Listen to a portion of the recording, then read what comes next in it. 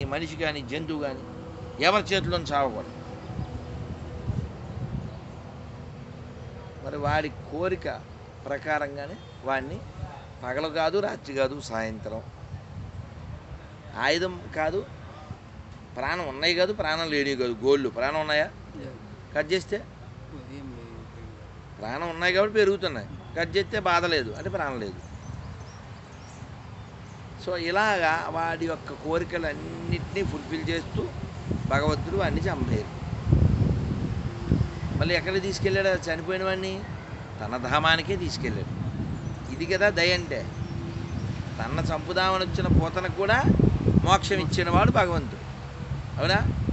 కానీ ప్రజల్ని పీడించే వాళ్ళు మాత్రం తాడ తీశాడు. గమనించారు అవునా? మరి పాపులు అంటే ఎవరండి? ప్రాణిహింస చేసేవాళ్ళు ఇంకా మద్యమాంసాదులు ఈ చెడు వ్యసనాలు ఏవైతే అవన్నీ ఉండి దొంగతనం చేసేవారు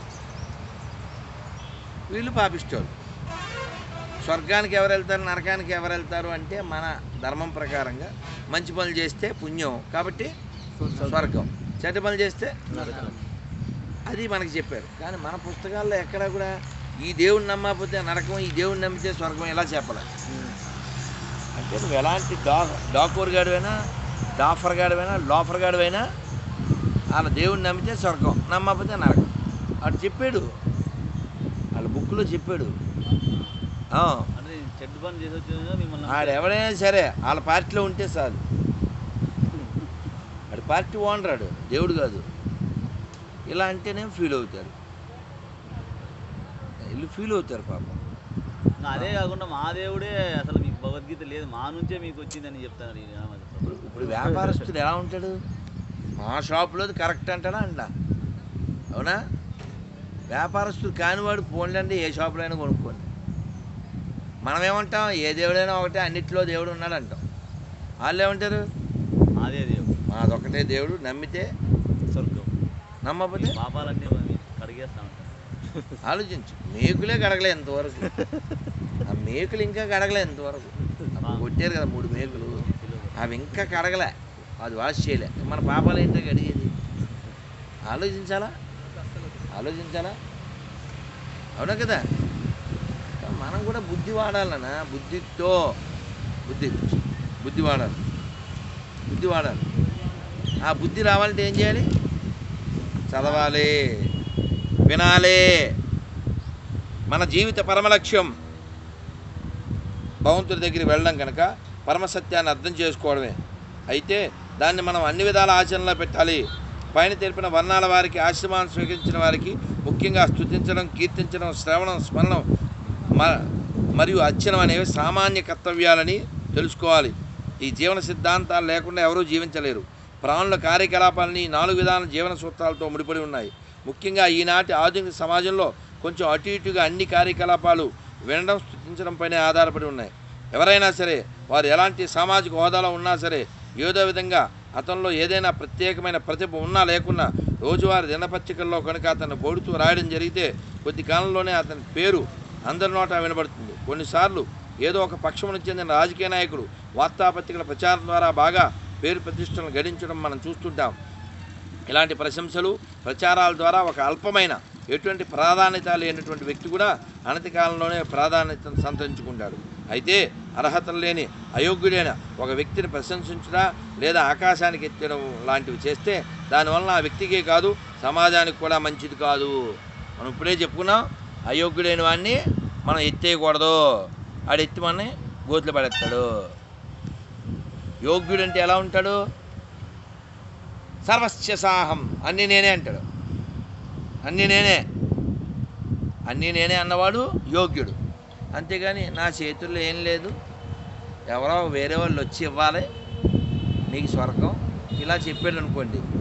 అతని చేతుల్లో ఏమీ లేదనేగా. నిన్న ఒక అతను కామెంట్ చేస్తూ జంతువులు తినమని చెప్తారు వాళ్ళ పుస్తకంలో. పక్షులు తినమని చెప్తారు. అతను అంటాడు అసలు ఫస్ట్ దేవుడు సృష్టించినప్పుడు ఆ శాకారమే తినమన్నాడు. మనుషులేమో మార్గం తప్పారు. తప్పనిసరి పరిస్థితుల్లో మా దేవుడు నాన్ వెజ్ మిలిటరీ వాటర్ మొదలెట్టాడు అన్నాడు. అంటే దేవుడు తప్పనిసరి పరిస్థితులు లొంగుతుంటాడు అనమాట అంతేనా? అంతేనా?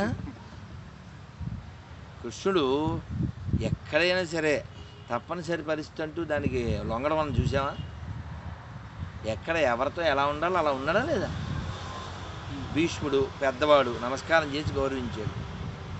ధర్మరాజుకు నమస్కారం చేశాడు. ఎవరు?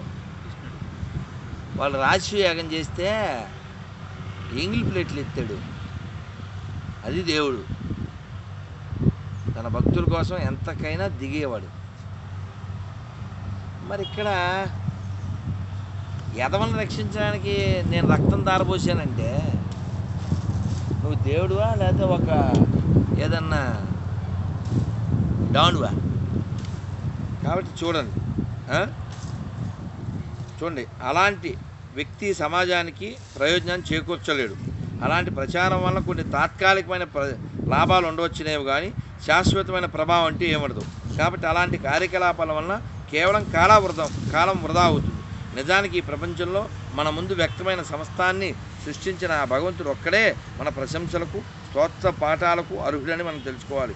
జన్మాదశ్యత భాగవతం ఒకటి ఒకటి ఒకటి ఈ శ్లోకంలో జన్మాదశ్యత అను భాగవత శ్లోకం ఆరంభంలోనే ఈ విషయాలను వివరంగా చర్చించాము.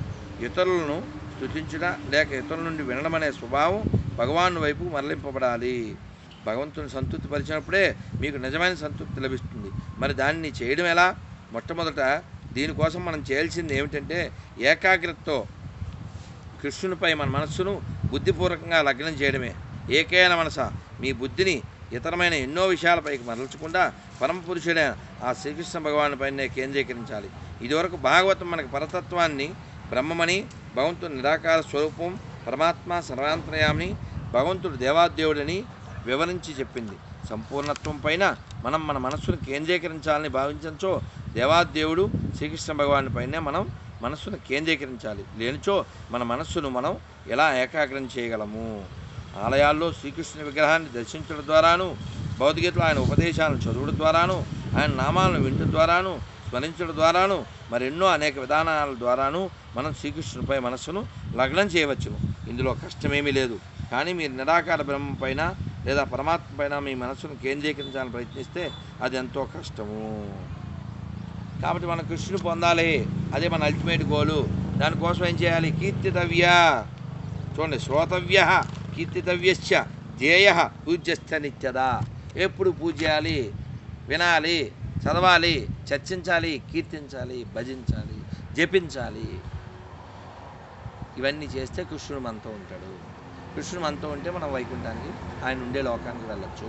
అక్కడ ముసలతనం లేదు రోగం లేదు చావు లేదు పుట్టుక లేదు. మన కృష్ణుడు ఎలా హీరోలా ఉంటాడో మనం కూడా అలా హీరోలా ఉండొచ్చు.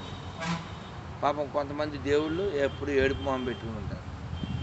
డల్గా ఉంటారు. అందువల్ల మనకు అలాంటి డల్ గాడ్స్ ఏం అక్కర్లేదు. వాళ్ళంతా సో కాల్స్ వాళ్ళు కాదు మనకు కావాల్సింది నిజమైనటువంటి భగవంతుడు నేనే సర్వము మయా సర్వమితం తదం అన్నీ నా మీద ఆధారపడి ఉన్నాయి అని చెప్పినవాడు శ్రీకృష్ణ భగవానుడు. ఆయన దగ్గర మనం వెళ్దాం. దానికోసం ప్రయత్నం చేద్దాం. శ్రీకృష్ణ పరమాత్మకి. గంధరా శ్రీమద్ భాగవతంకి జై. Thank you very much